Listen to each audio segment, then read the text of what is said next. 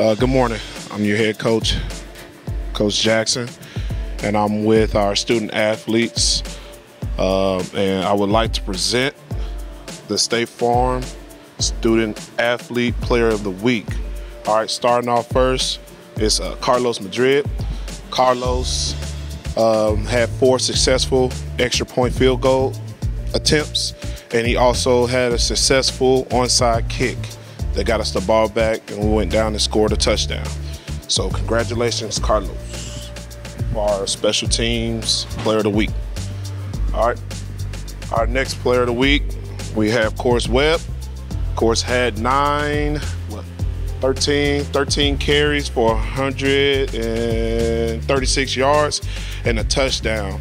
Uh, of course, doing a great job for us running the football, protecting the quarterback as much as possible. Congratulations. He's our offensive player of the week. Our defensive player of the week is Cam Hall. He's not here right now. Uh, Cam Hall had four stick hits and 13 uh, assist tackles, so that totaled him for 17 tackles, and he had a fumble recovery. Um, Cam Hall is our defensive player of the week. Um, and uh, for our MVP, our MVP of the week is Jevion Williams. Jevion had six catches for 86 yards and a touchdown.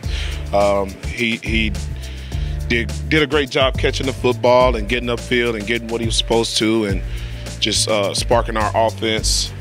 Uh, congratulations, Jevion, for being our player of the week, MVP. Thank you.